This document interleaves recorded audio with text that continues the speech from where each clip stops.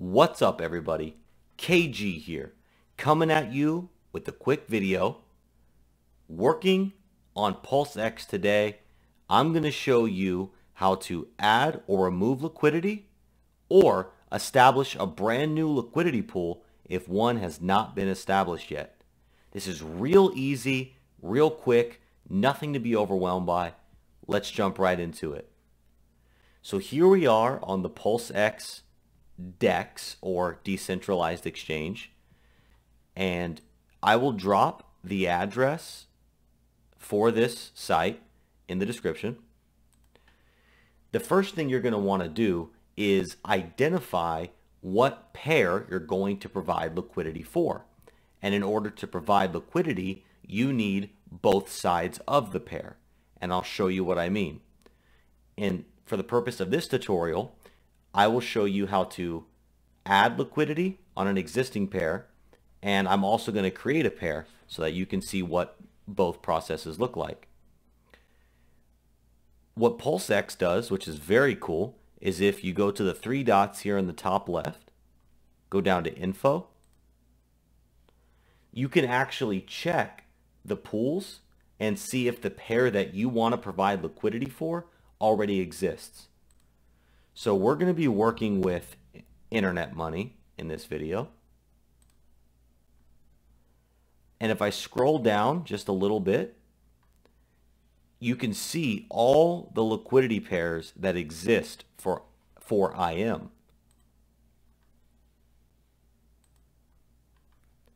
So I'll go ahead and add liquidity to the IM pulse pair.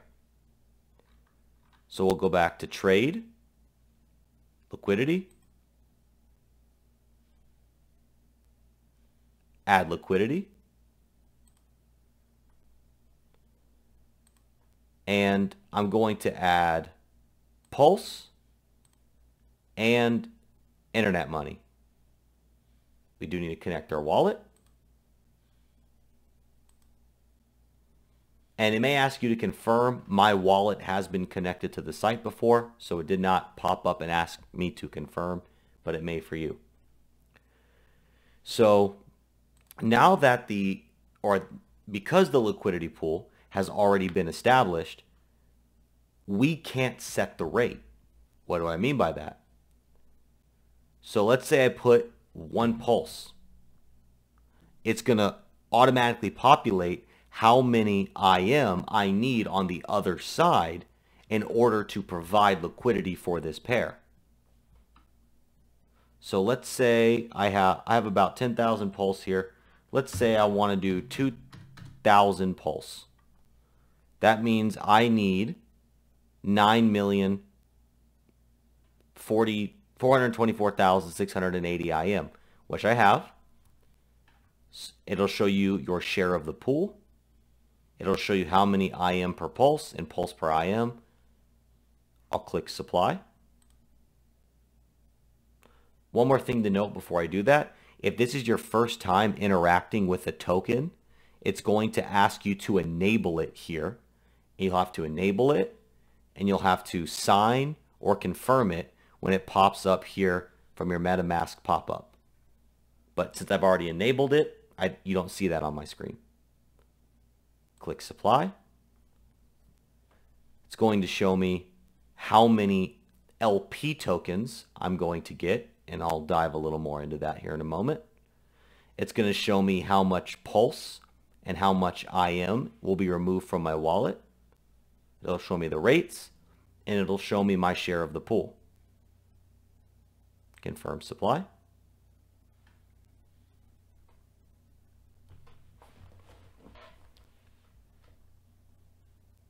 You do have to confirm it. You have to sign for it. There is gas associated with this. Confirm. So now you're going to see this button here. Add PLP to MetaMask. Let's go ahead and click that.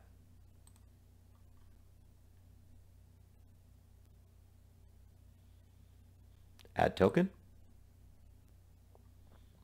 So I'll switch over to MetaMask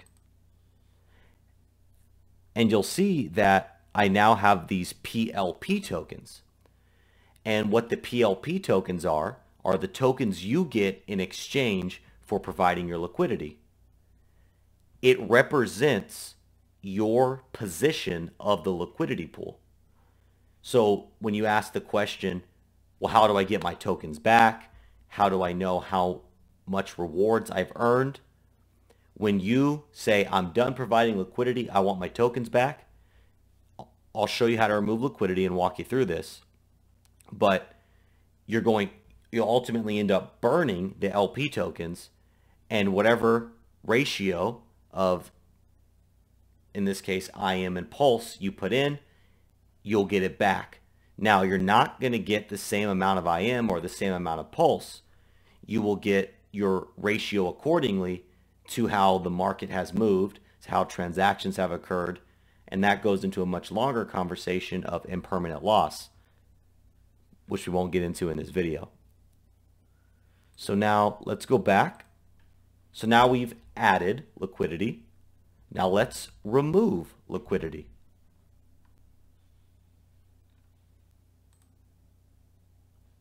So once you're on the liquidity page and your wallet is connected, you will see the liquidity pools that you're a part of. So we just saw that we created this one. So if we click it, we can click remove and you can either put a percentage of your liquidity, which is a really cool feature that PulseX provides, or you can click detailed and put an exact amount of tokens. But for the purpose of this video, so you can do 1,000 based upon how many tokens you have. But we'll just do simple for now. And I'll just do max. And I have to enable it because I have not interacted with this token yet.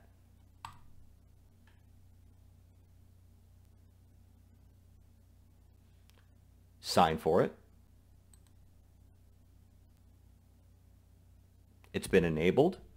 Now I can remove and it's going to show me how much IM I will get, how much pulse I will get, and you can see the LP token is going to be burned. Confirm.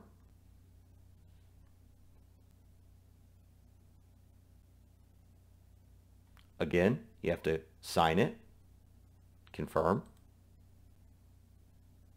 There's gas associated with this. Every move you make on the blockchain, there's gas associated. Let's close.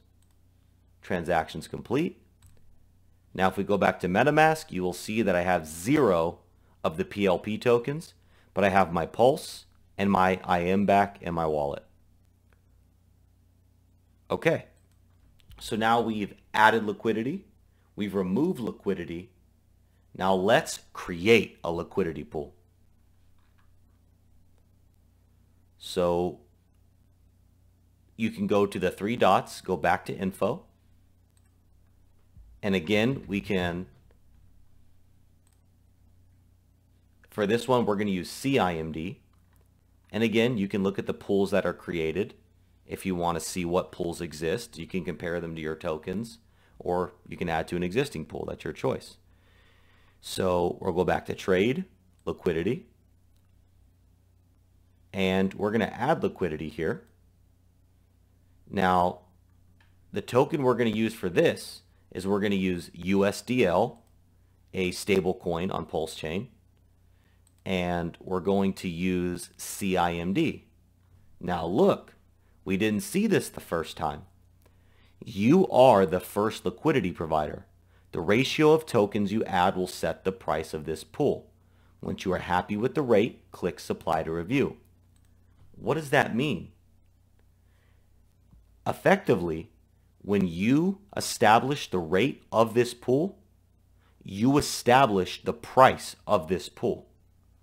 So remember how when we were adding liquidity, when I put one, it automatically populated the other side. Well, that's not the case here. You have to tell it what one USDL is worth in terms of CIMD. So I could do one to one. I could do one USDL equals 100,000 CIMD. But let's say I want to beef up the price of CIMD in this pool. I can do 100 USDL equals 1 CIMD. Let's do that. Sounds cool to me.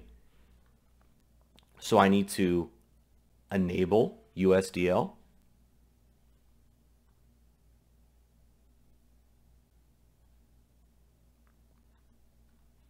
Confirm. It's enabling. And it shows you again, CIMD per USDL, 0.01 or 100 USDL equals 1 CIMD. I own 100% of this pool. Now keep in mind, most projects, when they launch, they will choose the primary pair or pairs that they want to they want their token to be paired with and they will set the initial ratio so that they can control the initial price so that nobody else can come in and dictate the terms of their desired pair. Click supply. We're going to create the pool. Let me say one, one more thing. So if I want to keep the ratio of 100 USDL to 1 CIMD, I can still do that. I could do 1,000 USDL and 10 CIMD, and you will see the ratio is the same. So we'll go ahead and do it this way. Supply, create pool and supply.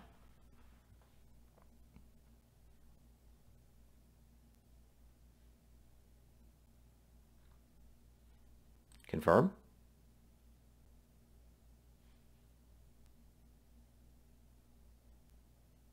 And now we wait just a minute. It's done.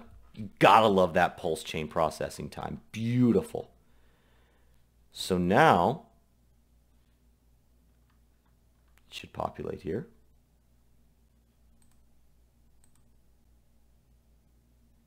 Don't see a pool you've joined. Okay, so let's try that. The pool wasn't populating, so I click don't see a pool you joined. Boom, boom. Pool found. Cool. And there are the tokens that I have. Manage this pool. There it is. Okay, it populated. Beautiful. Okay, so you can see your liquidity pairs here. Now, check this out. Let's say I want to add liquidity to the USDL CIMD pair. Watch this.